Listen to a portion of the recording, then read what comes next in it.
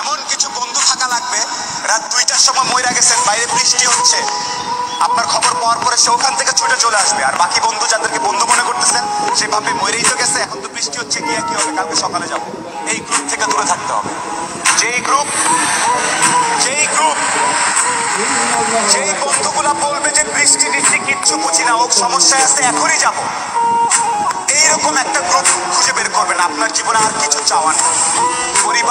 স্বাস্থ্য আর এরকম কিছু ফ্রেন্ডস আছে, আপনি অলরেডি সুপার সুপার সাকসেসফুল পৃথিবীর সর্বোচ্চ ধনী ব্যক্তির থেকে আপনি সাকসেসফুল এই তিনটা জিনিস highly you have to maintain you have to actually maintain this three things বাস, আর কিছু চাওয়ার দরকার নেই।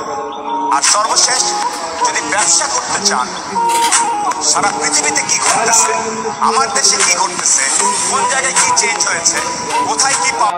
আমাদের সকলের প্রিয় জনাব আব্দুল সালাম সরকার সাহেব সবাই দোয়া করবেন